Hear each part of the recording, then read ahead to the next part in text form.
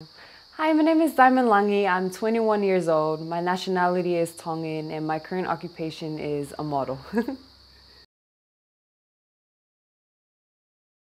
so tell us about your journey to becoming a model.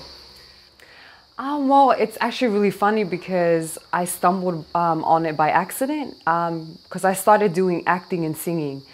And when I signed up at with an agency at the age of 14, um, they were like, do you want to do modeling? And I was like, oh, maybe not. And then they put me in front of the camera and I was like, I loved it ever since. I was like, oh, well, I'll try and do it, you know? um, who did you look up to when growing up? I looked up to my dad. Um, he was a great role model to me just because, you know, we never had much in life, but he showed me, you know, at a young age, just because we didn't have nothing, you, you know, it wasn't like it didn't stop us, like, or stopped anyone for living your dreams and stuff. Yeah. what was your first gig? My first gig, my first ever big gig was um, I did a show for um, Walt Disney and I was really nervous. Like I was like, I don't know what I'm doing. And then I could see my mom, she was like, you better do this right. so that was my first gig. And I think that's when I built my confidence. Yeah, so they just made us, so they had a lot of performances, a lot of um, kids singing or dancing. And then um, they made my age group, was like 14 years old, just do like a little um, catwalk and stuff. Yeah. what would be some of the highlights of your career?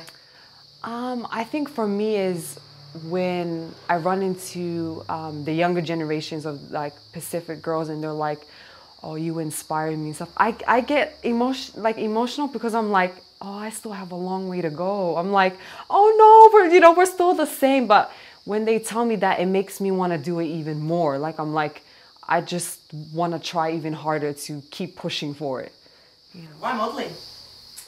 Um, you know, I still can't answer that question it's very glamorous and um, and all of that. But the other side is it's very catty and very competitive. Like um, I had one guy tell me, like one of the photographers, and he was like, "Oh, you're you're too big," and I'm like. I'm anorexic looking. Are you kidding? Like he's like, you're you're too curvy, and I'm like, but I'm not gonna change. You know what I mean? Like I'm I'm happy with how I am, and if you want me to be skinnier, I'm not gonna do that. So it's, it, I think you just have to, you know, put your heels down and like, hey, I'm here and I'm me. I don't want to be anybody else. I think, you know, my culture, you know, being Tongan was like, you know, beauty is what you are. If you have to change and become, you know, like everyone, like, you know, westernized and stuff, everyone's gonna be like, you know, you're losing your culture and stuff. But I think if I didn't have that knowledge, I think I, I would have been lost long time ago. I've always loved being in front of the camera, like whether if it's modeling or um, acting and stuff, but I've always loved being in front of the camera. So we just never know. Maybe I'm, I'm like a rapper or something. It's just kidding. Um, what keeps you motivated? What keeps me motivated is my parents because I want to give them a better life. Um, I think every Pacific Islander wants to give their parents or their family a better life. And when, when you see them struggle, you're like, I want to give back more to them. Yeah. Do you get to work alongside other Polynesians in your field of work? Um, sometimes, like, you know, like out west out here, I love to work with the Polynesian community. Um, but usually when I'm doing um, like high fashion and stuff, I don't really see many. But I want to bring a lot, you know, because we have so many beautiful women. I'm like, come on now, hi am I? um, what other talents do you have apart from modeling and singing? Um, I think it would be acting. Acting and um, I want to get into the field of designing. Just something different, like I don't know. I, I just want to be that Polynesian girl that can show, um, you know, younger girls you can do whatever you want if you really put your mind into it. So yeah. okay, so explain the no-nos of the leak videos. so I did it by accident. I was like, it was just a funny video. I was like, oh no, no, and then everyone was like, that's funny, and I'm like, really? It was just like a little muck around, and yeah. so when I did it, I was like, I'm gonna actually start speaking the truth. Like no nos with you know, when a lot of people are like, did you see that they did this, did this? So I was like, I want to help people stay away from that and just tell them those are the no-nos, you know? Simon's no-no. um, what's your ultimate goal? My ultimate goal is to make it to Hollywood. Um, I know I still have a, a long way to go, but I know just from the guidance of God and you know the support with my parents, I just I just want to go there. You know what I mean? And just set an example. Like we we can all do it as a Polynesian community. Yeah. How do you connect with your culture and community outside of work? Um, I do a lot of cultural performances. Um, and I try to keep, like, try to speak it well. Like, you know, when my parents speak it, I try to speak it back and just to learn it well. So when I have kids, I teach them.